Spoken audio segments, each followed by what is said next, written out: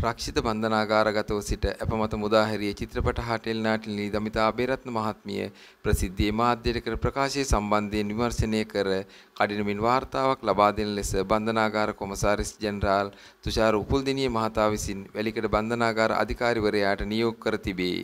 අපමත මුදාහැරීමෙන් පසුව මාධ්‍ය ඉදිරියේ ප්‍රකාශයක් කළ දමිතා බේරත්න මහත්මිය බන්ධනාගාරයේ තුලදී තමන්ව ජරා ගෑනුන් සිටින තැනකට දමන ලෙස ඉහළ නිලධාරීන් නියෝග කළ බව වැලිකඩ බන්ධනාගාරයේ කාන්තාංශයේ ප්‍රධාන ජේලර්වරිය පැවසුවේ යැයි සඳහන් කළාය.